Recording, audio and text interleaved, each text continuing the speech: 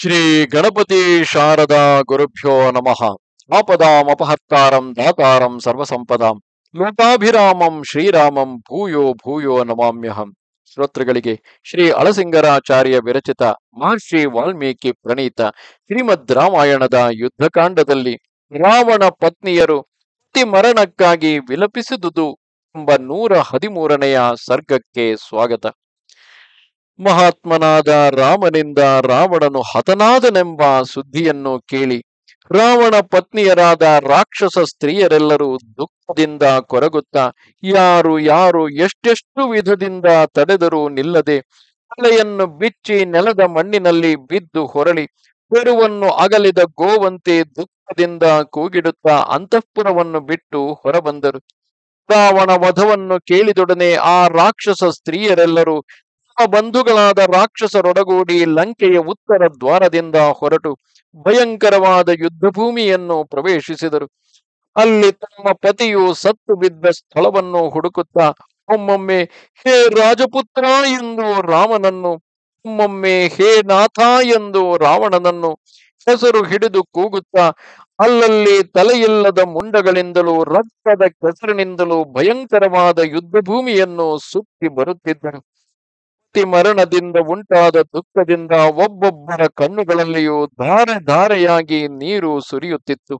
ಒಬ್ಬೊಬ್ಬರು ಸಲಗವನ್ನು ಕಳೆದುಕೊಂಡ ಹೆಣ್ಣಾನೆಯಂತೆ ಆರ್ತ ಸ್ವರದಿಂದ ಕೂಗುತ್ತಿದ್ದರು.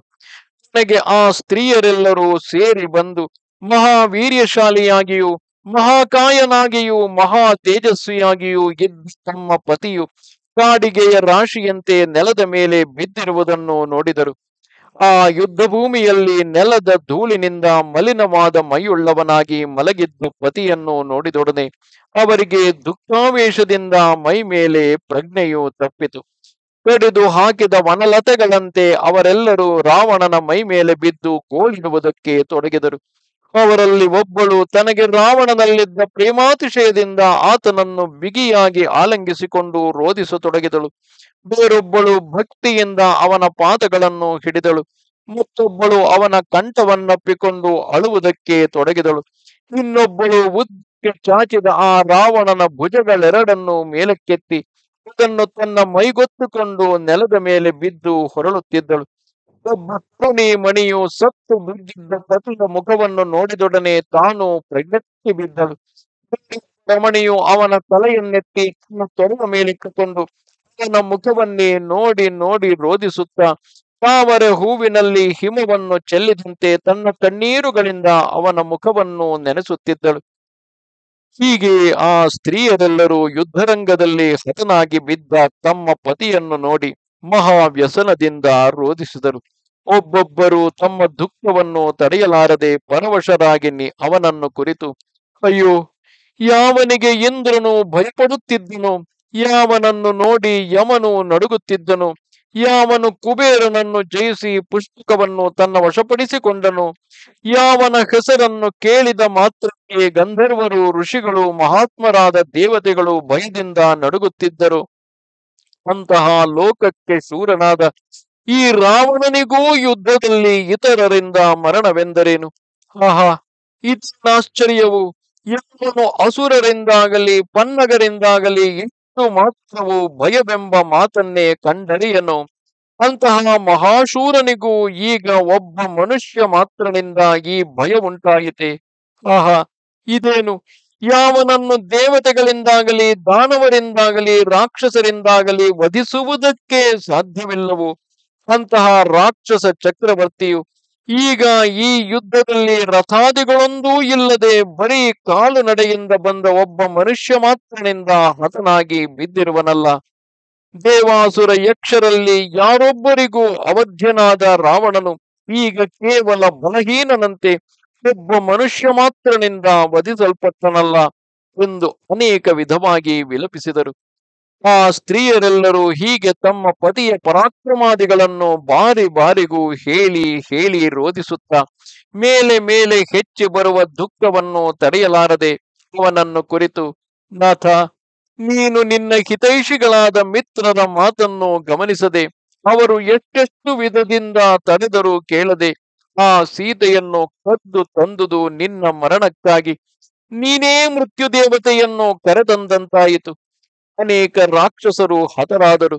ಈಗ ನಾವೆಲ್ಲರೂ ಇನ್ನು ಅನೇಕ ರಾಕ್ಷಸರು ನಿನ್ನೊಡನೆ ಏಕಕಾಲದಲ್ಲಿ ಸಾಯುವ ಹೊತ್ತು ಬಂದಿತು.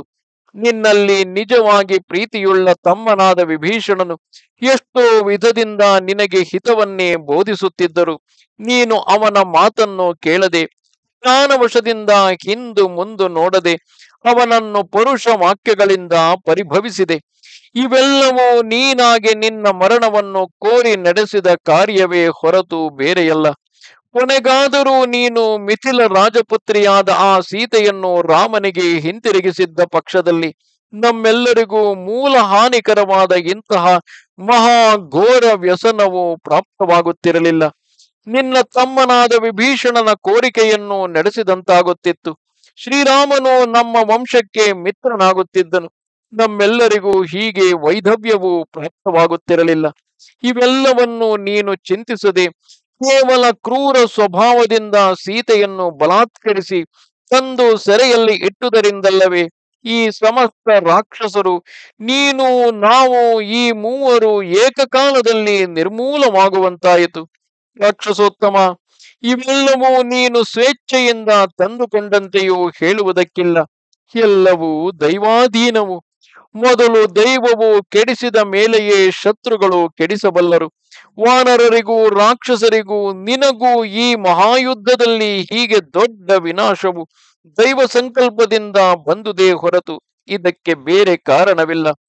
ದೈವಗತಿಯಿಂದ ನಡೆಯತಕ್ಕ ವ್ಯಾಪಾರವನ್ನು ಅರ್ಥ ಬಲದಿಂದಾಗಲಿ ಇಚ್ಛೆಯಿಂದಾಗಲಿ, ಪರಾಕ್ರಮದಿಂದಾಗಲಿ, ಆಜ್ಞೆಯಿಂದಾಗಲಿ ಎಷ್ಟು ಮಾತ್ರವೂ ತಪ್ಪಿಸುವುದಕ್ಕೆ ಸಾಧ್ಯವಲ್ಲ. ಇದಕ್ಕಾಗಿ ಯಾರೇನು ಮಾಡಬಲ್ಲರು ಎಂದು ಬಹಳವಾಗಿ ವಿಲಪಿಸುತ್ತಿದ್ದರು. ಹೀಗೆ ರಾವಣ ಭಾರ್ಯೆಯರೆಲ್ಲರೂ ದುಃಖಾರ್ಥರಾಗಿ ದೈನ್ಯದಿಂದ ಕಣ್ಣೀರು ಬಿಡುತ್ತಾ ಕುರರ ಪಕ್ಷಿಗಳಂತೆ ಆರ್ತ ಸ್ವರದಿಂದ ರೋಧಿಸಿದರು. ಇಲ್ಲಿಗೆ ನೂರ ಹದಿಮೂರನೆಯ ಸರ್ಗವು ಮುಗಿದುದು. ನಮಸ್ತೆ ಶಾರದೆ ದೇವಿ, ಕಾಶ್ಮೀರ ಪುರವಾಸಿನಿ, ತ್ವಾಮಹಂ ಪ್ರಾರ್ಥಯೇ ನಿತ್ಯಂ, ವಿದ್ಯಾದಾನಂಚ ದೇಹಿಮೆ. ನಮಸ್ಕಾರ.